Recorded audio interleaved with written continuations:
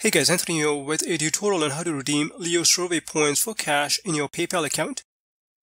So log into your Leo Survey account.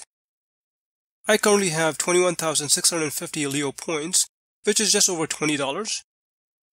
Click on rewards in the menu up top, and it'll bring you to the rewards page.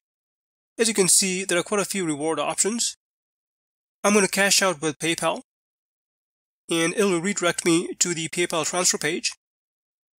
Let me scroll down and then click on claim. You will need to confirm your personal details like your home address, phone number, and email address, and make sure that your PayPal email address is the same as your Leo Survey account email address. Agree to the terms and conditions by checking this box, and then finally click confirm and claim. You will need to reconfirm by clicking yes, proceed and then you'll get a confirmation.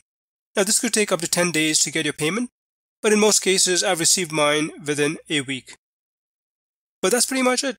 If you want to make some extra money taking Leo surveys, check the link in the description section. Thanks for watching.